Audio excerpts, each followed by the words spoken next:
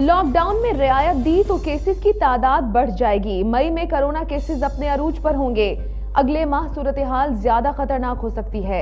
सूबाई वज़ीर सेहत डॉक्टर अजरा पिचोहो ने खबरदार कर दिया, कहा, सिंध में इस वक्त कोरोना केसेस के एतबार से तादाद 10 फ़ीसद मुस्बत है और सूबे में केसेस की शराय अम्बाद दो आशारिया दो फ़ीसद है। लॉकडाउन और समाजी फासलों पर मौसर अंदाज में अमल करना होगा। एक प्रिडिक्टिव एनालिसिस है। इसकी बेसिस है, जो करंट सिचुएशन है, इस बेसिस की हम देख रहे हैं मुतवातर बढ़ रहे हैं।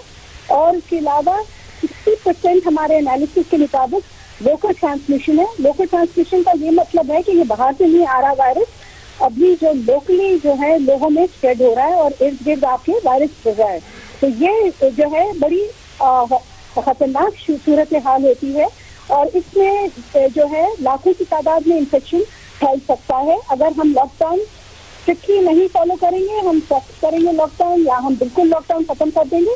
तो आ, हम बहुत खतरे की अलामत होगी है हमारे लिए और लाखों की तादाद में लोग इन्फेक्ट हो सकते